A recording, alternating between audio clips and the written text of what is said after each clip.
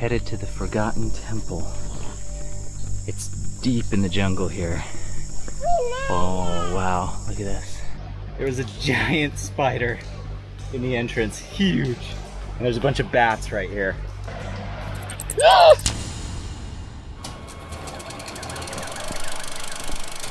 Are we there yet?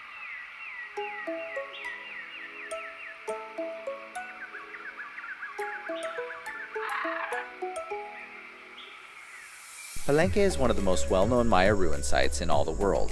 It's visited by thousands of people each year because of its uniqueness, and is a UNESCO World Heritage Site. The Maya people flourished in the jungle for over 700 years, creating a grand city with advanced architecture and artistry. They fought wars, observed and mapped the movements of the sun and stars, and built massive monuments and temples. Palenque has some of the finest examples of Maya architecture and sculpture ever found, and was home to one of the longest reigning monarchs in all of history, Pakal the Great. Half the adventure of Palenque is in just getting there. It's located in the northern corner of the Mexican state of Chiapas, near the Usumacinta River, a hotbed for Maya civilization during the Classic period. The ruins are fairly distant from any major city, and the road to get there can be hazardous. Driving from San Cristobal takes about five hours. We chose to break up the trip and stay the night in the city of Ocosingo at a cool hacienda turned hotel. Ocosingo itself is a fun place to visit and has a great downtown. It's also the jumping off point for the ruins of Tonina, which are amazing. If you decide to drive to Palenque, we suggest leaving early and bringing some cash with you. The road is notorious for illegal roadblocks. All right, we finally are here and we're finally going. We're gonna walk into the jungle first. So Palenque has tons of ruins, but the majority of them are still covered by jungle. And so we're gonna walk into the jungle and maybe see some of these less known ruins, and then we'll go to the main stuff in a little bit. Should be fun. Okay guys, into the jungle. Going into the jungle. The.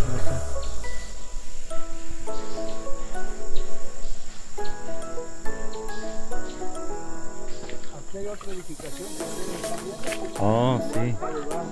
Look at that. You can see the ruins. Look at the ruins. Ancient ruins. Look at the vines. Look at this tree.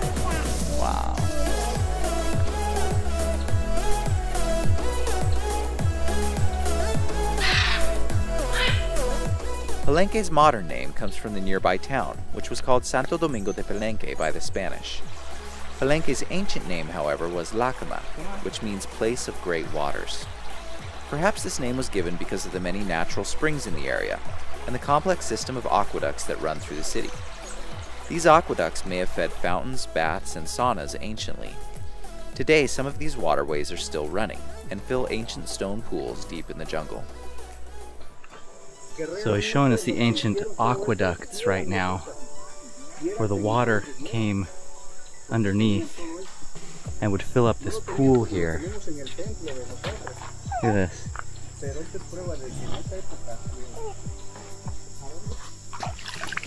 Oh, that water feels good. Aquí se entra? Ahí? Acá? Apparently there's a tunnel that you can walk through. So we're gonna walk through the tunnel. I love this stuff, it's so cool. I love the jungle. It's hot and sticky and muddy, but I could spend all day here.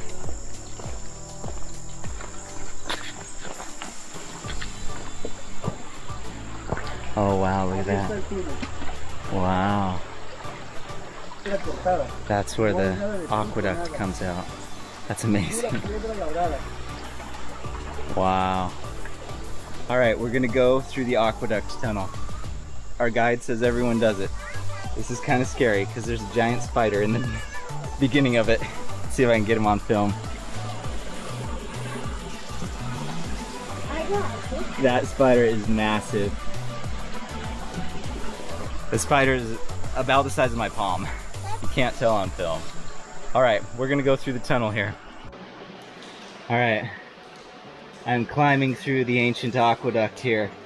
This is a little bit freaky, but there's a bunch of bats right here.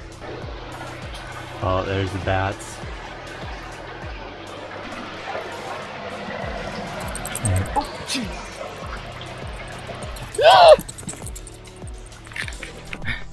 there are bats hanging from the ceiling in there. And they came off and flew at my face. And I screamed like a girl. it was it was a little bit scary. That was kind of awesome though. Woo! Crawling through the aqueducts. Yeah, that last bat flew off towards me. Come on guys, let's go. That was awesome.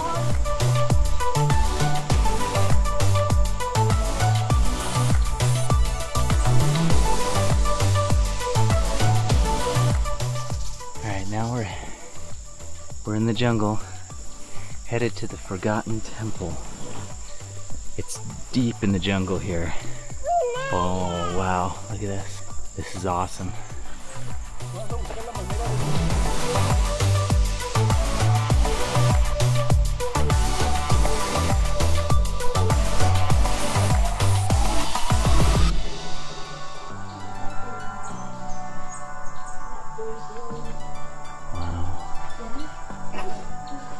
So cool. So this temple, you can see the, the three pillars here used to have figures on them. You can see just the feet. See right there? Right here. Those are the feet. One of the craziest things about Palenque and many of the ruins that are discovered is for everything that you see and that's uncovered, there's like tons more that's not covered. He said these ruins are like 2% uncovered, which is crazy. You're walking through the jungle and you just see these mounds, and they were buildings. Cuidado.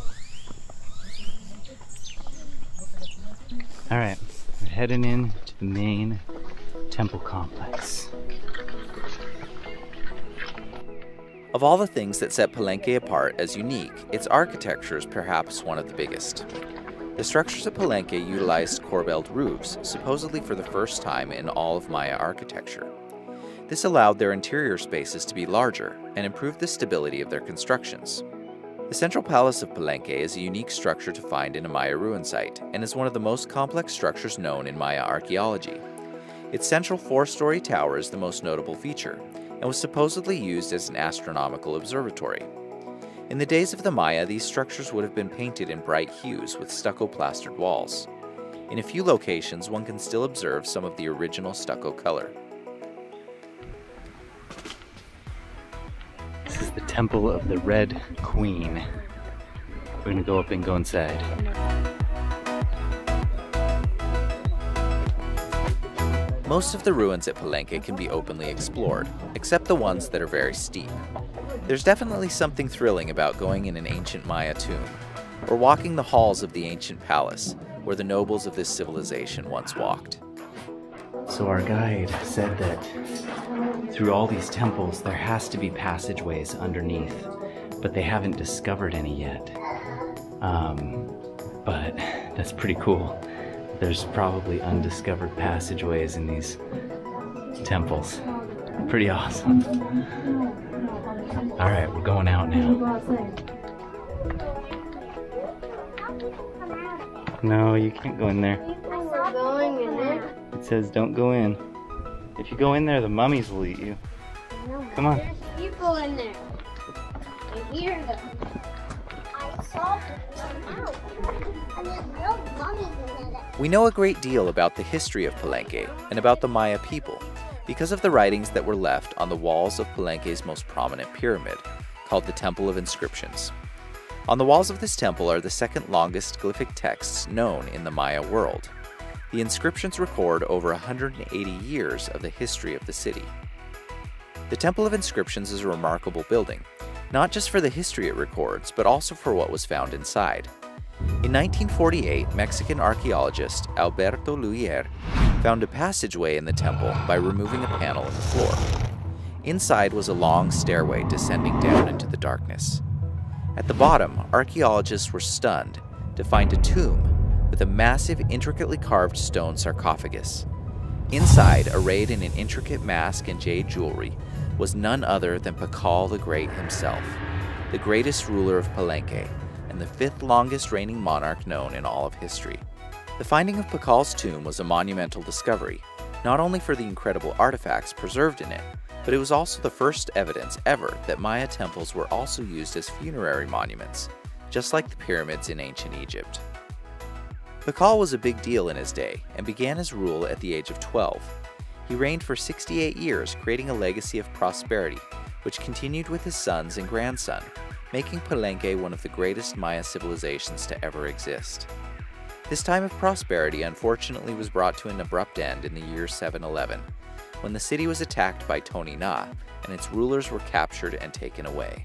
Though Palenque continued as an active city for many more generations, it never regained its once great status.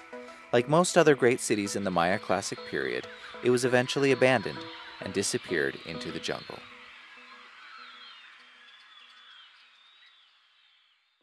All right, well, I think we're done with our tour. We're gonna head back to the uh, hotel and do some swimming because we are sticky and hot. That was pretty fun though. All right, more adventures in the jungle to come. We've got two more ruin sites that we're going to this next week. That should be pretty awesome. All right, if you like this video, go ahead and give us a thumbs up.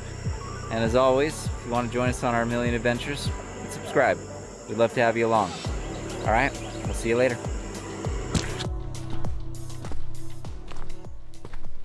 Are we there yet?